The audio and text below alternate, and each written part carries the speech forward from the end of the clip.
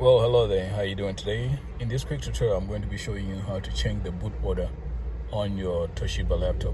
When it boots up you're going to press f2 key and you're going to get a little message that says please wait and you're going to get another screen over here that says uh, uh, set up utility. You're going to get to boot. You're going to press on the following keys.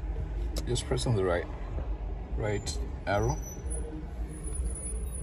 going to tab over until you get to boot.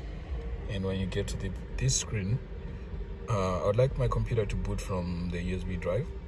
So I'm going to use the down arrow until I get to USB and then now as you can see at the bottom of the screen here it says press F5 or F6 so I'm going to press